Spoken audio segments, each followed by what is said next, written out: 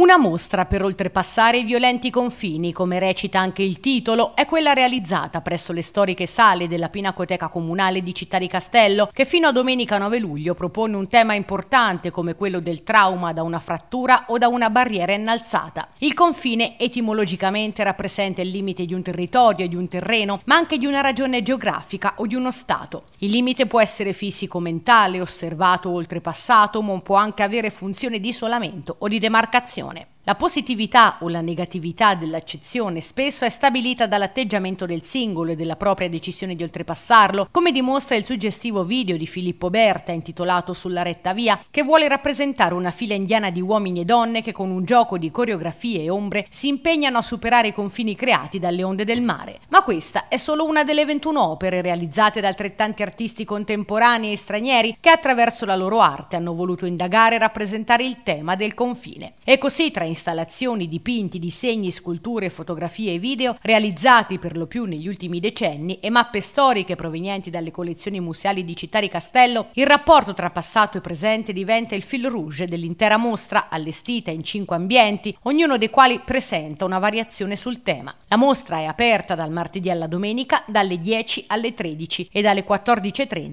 alle 18.30.